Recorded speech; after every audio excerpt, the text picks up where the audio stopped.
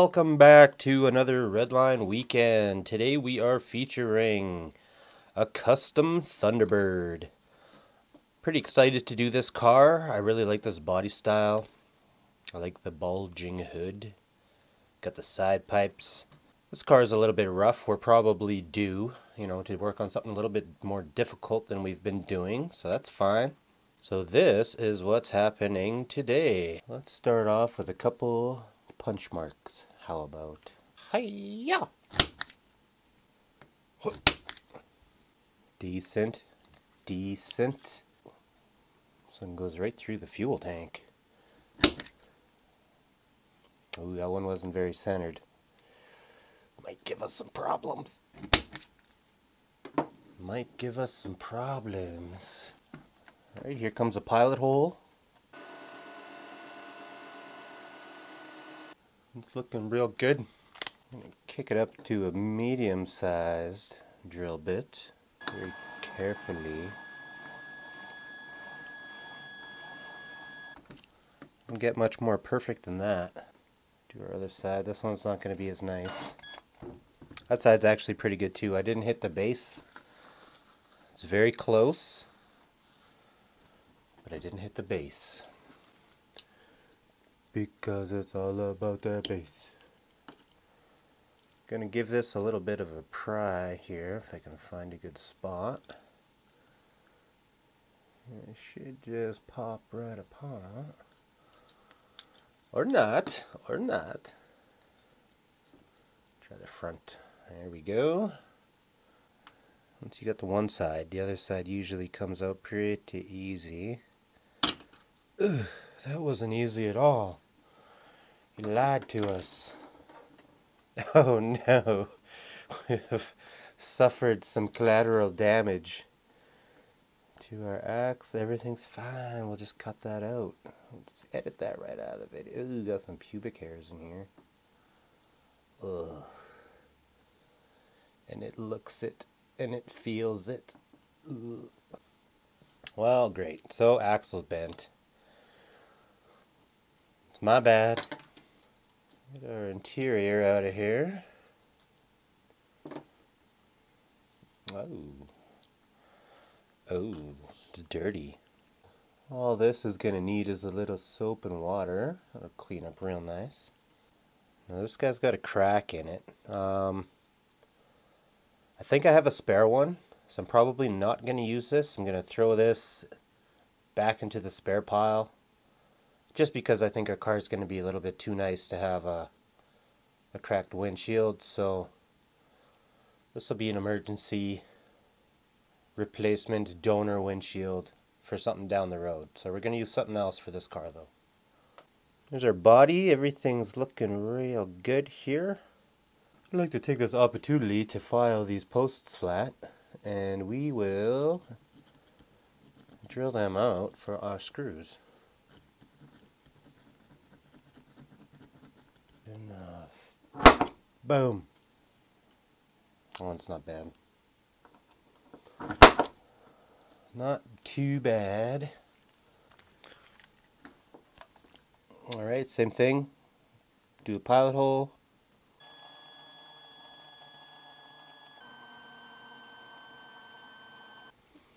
And then we'll move up to the appropriate size drill bit for the screws. Got the self tappers here. So you just thread these in and they'll make their own threads. Doesn't get any easier than that. Alrighty, it's stripping time. I've been getting a lot of comments that had to do with what kind of strippers, what kind of, honestly, what kind of everything. Everybody wants to know, so to just save the trouble of putting everything in a video, um, what I did was I made kind of a supply list in the bio for every video. And then any questions you have about what I'm using it'll be found in there. This stuff works so good. I suspect this car is going to need zinc. It's pretty banged up. That's okay. I've been kind of been wanting to do a nice zinc job and, and a T-Bird has got a real nice flat body so it should be a lot easier to work on. It's got a nice big open canvas. Should be good. Should be a real good experience I think. It's My favorite part is just peeling off the old paint. Ah, yes. Every time.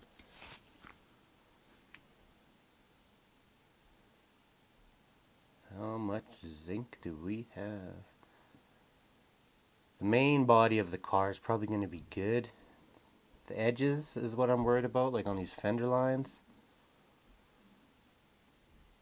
We will see give it the regular Diecast Resurrection treatment and see how it all ends up. Alright, I've got the whole body stripped here. I'm going to go ahead and take this to the sink, give it a bath with some hot water and a wire brush. Try to clean out all the little specks of paint I may have missed. And I'll be right back. So here's the T-Bird. It's looking pretty rough. I got it in the wet sanding tub here. Or my pie plate. First thing I want to do is give this thing a wet sand down to 400 and I want to see what shape our zinc is in. Looks pretty rough. I mean, you look at the trunk.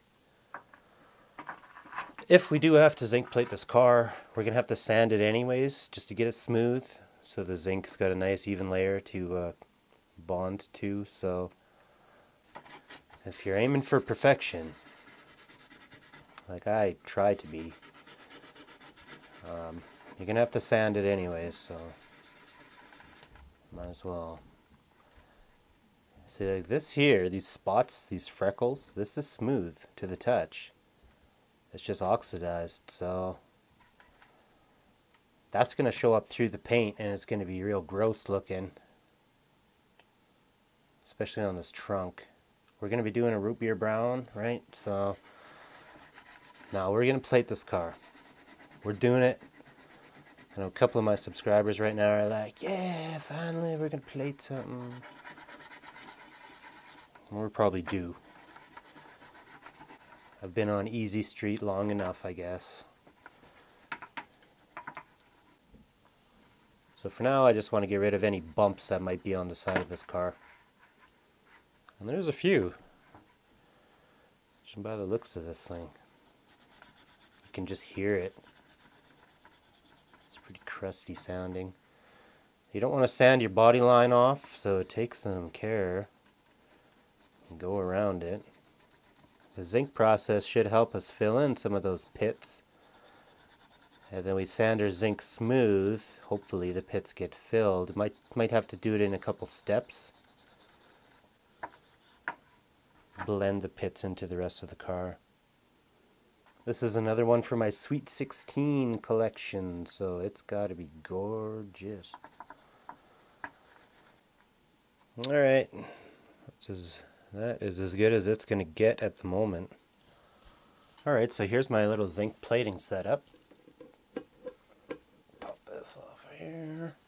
So I watched a lot of different videos on this and it seems like there isn't really like a proper way to do it you know everyone's pretty well doing the same thing but there's variances. Like in my I don't know this probably isn't a gallon it's pretty close. So in here I've got plain white vinegar. It's not distilled vinegar it's just 5% plain white vinegar. And I have about three quarters of a cup of Epsom salts in here to make it a little bit more conductive. And I've got my little Haltronic mini DC benchtop DC power supply to give me some volts. And I got this big ass marine anode. This is something that they would normally bolt onto a boat. And the, having the anode there magically helps the boat not get corroded so bad. So I've been using that and when I bought it, it was advertised as a zinc anode, but after I looked it up, I looked up the composition of it, it's actually a zinc alloy. So I'm not 100% sure if I'm, you know, alloy plating these cars. It, it works pretty well the same, but it seems like the uh, the finish on the car is harder with this alloy, which would make sense. So that's kind of what I'm thinking, which makes my job harder because it's harder to sand and harder to make look really nice. So that's the anode I have for now. And I'm going to order something else, so I think it'll make, make my life easier down the road. So we're going to hook up our positive lead to the top of my anode. It's got the little alligator clip up here. And then our negative is going to go on the post of this car. One thing you have to be sure of is that your car is absolutely perfectly clean. I've seen guys use brake cleaner, I've seen acetone, you could use Spray Nine, any kind of heavy degreaser. You gotta get that car spotless. Absolutely spotless. So I'm gonna put this in here like so. I know I'm not using a bubbler. I know you guys are to be all over me for that, and I've I've done my research, so don't don't hate on me too much just because I'm doing something a little bit different than what you've seen. So we got our body in here. And we're going to turn this bad boy on.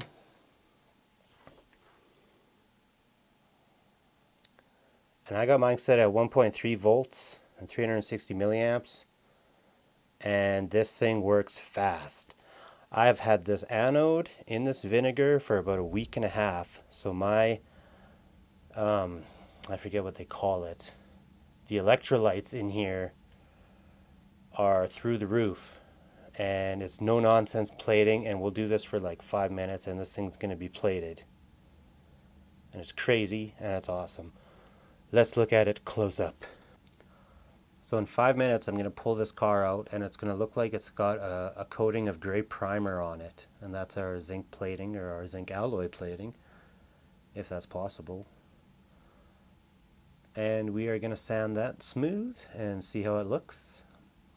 I'm not going to go into the whole science behind this because, you know, reading's for rich people and I'm just kind of a get a general idea of it and then experiment and see what works the best for what with what you're doing. So the links are there if you guys want to learn the sciencey part of it. I've already done my reading, so this is where we're at for now. So I'm going to leave this in for a couple minutes. I'm going to pull it out and we'll have a look at it. Checking back in with our car. There's that great primer look I was talking about. I'm going to leave it in there for a little bit longer just to try to cover up a little bit more of that oxidation. And then we're going to take it out, give it a quick wet sand, and see how it looks. Alrighty then, she's been bubbling away for a little bit now and there. I think I'm about ready to take it out. So there you go, that's about 10 minutes. The old plater pretty smooth result so far. Uh, I just want to, I don't have steel wool. That would be ideal for this. So I'm going to use my 1500 grit. We'll just see, see how we did here. So after some zinc plating and a little bit of light sanding, this is pretty much what we ended up with. And it looks pretty good. I wish it was better. If you remember how bad our trunk was, this is quite an improvement. So I want to do a little bit more wet sanding before we go to paint here. I might refine the old zinking process a little bit to try to get better results. I think the biggest part of my problem is that the anode is uh, an alloy and that's um, kind of making things more difficult than they need to be. Right, so we're going to give the car a polish before we go to paint. Get her looking as good as we possibly can.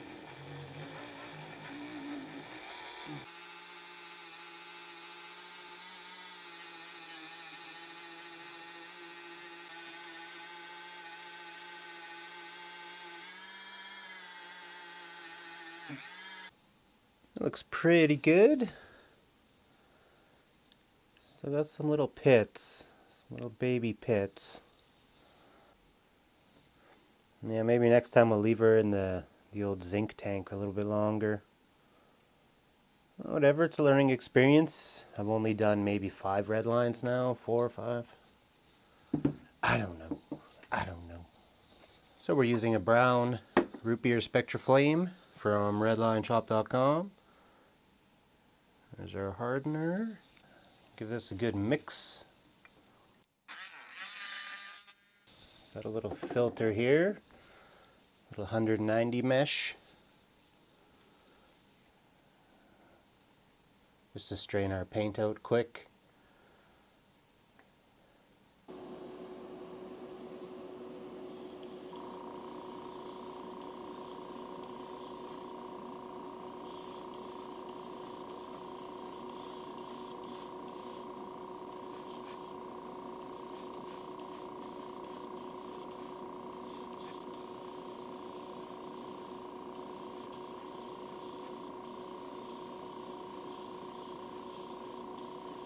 Okay, our car is back from paint, and now I got to put a vinyl top on here. So I brought another Thunderbird.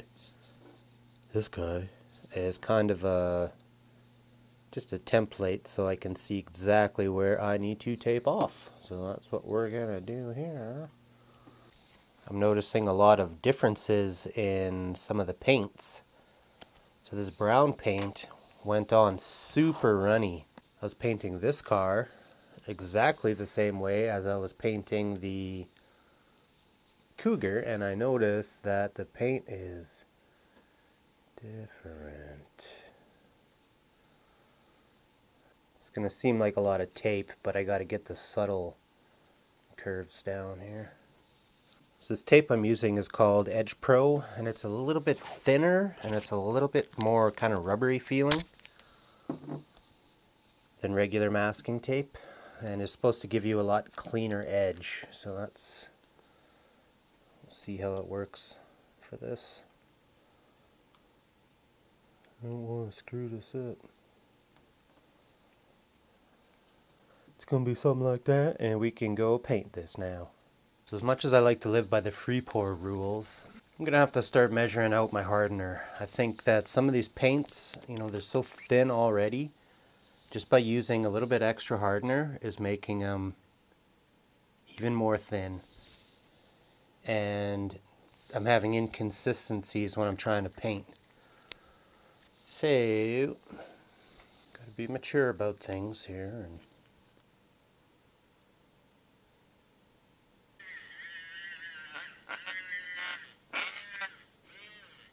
So we're going to do this quick and we're going to take this tape off. ASAP. That's when you're going to get your you'll get your bleeding happening if you leave your tape on there too long.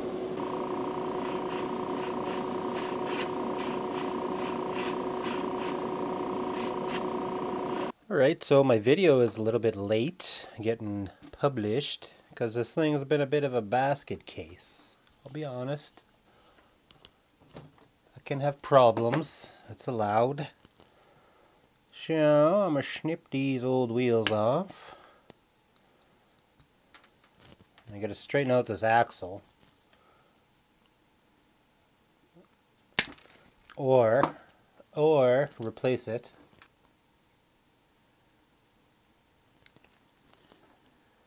Stupid tire, think you're better than me? Uh-oh. You guys didn't see that, but I just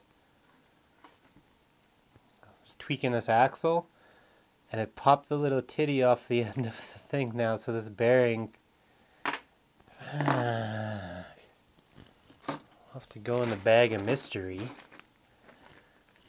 and see what we got here.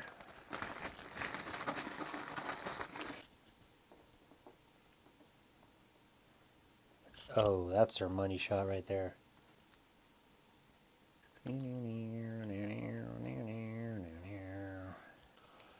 Good, good, good, good. Axles. Maybe we'll spiff up this tail light.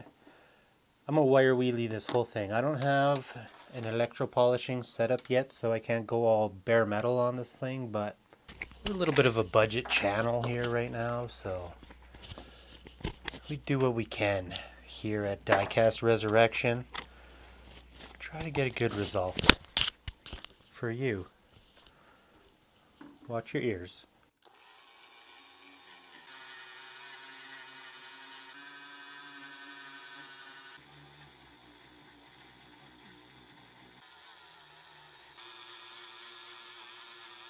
That's all I'm gonna do. I'm gonna go give this a wash and I'll BRB. I got a Molotow. Don't look up Molotov. The FBI might get you. But I got this little acrylic pen I'm going to use to just freshen up these tail lights a little bit. So I just want to freshen them up a little bit. It looks just fine. Just fine. This is our replacement windshield. The spare I had. So you can see it's a little bit scratched up. Nothing that's going to warrant any kind of sanding, so I'm going to just hit it with the polishing wheel. And it should make it pretty perfect quite easily. You wouldn't be amazed what you can get done with uh, just rubbing compound. Like, you can do anything.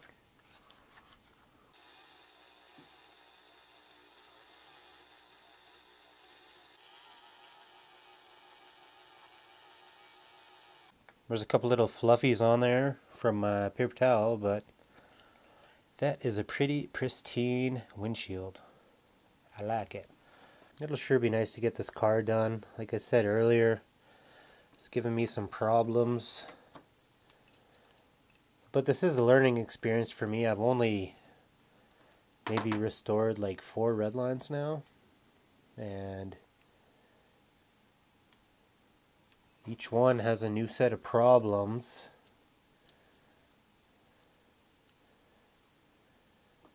That bad boy on there. Been having fun doing this. I enjoy making videos for you guys.